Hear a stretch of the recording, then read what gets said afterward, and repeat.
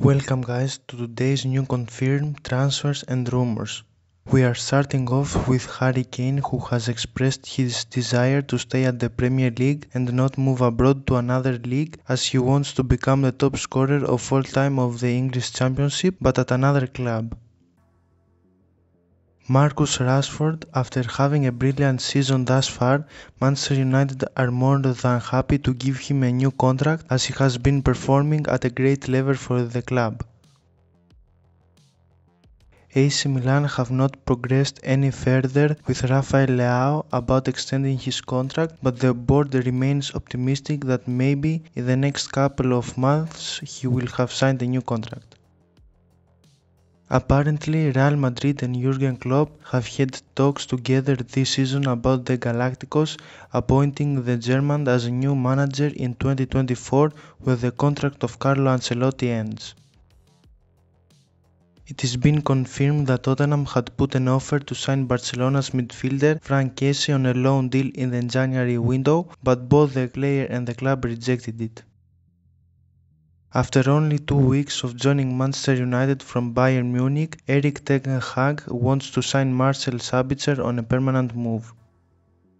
Liverpool will probably look to sell Joel Matip this summer for around 15 million euros as his contract expires.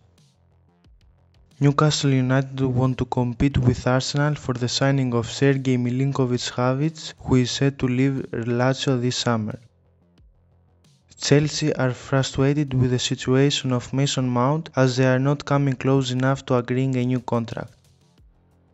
Reiss Nelson hopes that himself and Arsenal will agree to extend his contract as his current one expires in the summer of 2023. Bayern Munich will not make any bid for Randal Kolo Muani as Frankfurt are asking 80 million for him. Manchester United are keeping an eye on Paulo Dybala as he has a release clause in his contract worth only 10.7 million pounds. Inigo Martinez will probably not sign a new contract with Athletic Bilbao as he wants to sign with Barcelona on a free transfer despite the interest in him from Atletico Madrid. With presumably the sale of Joel Matip, Liverpool might look to replace him with Leverkusen's defender Jonathan Tah.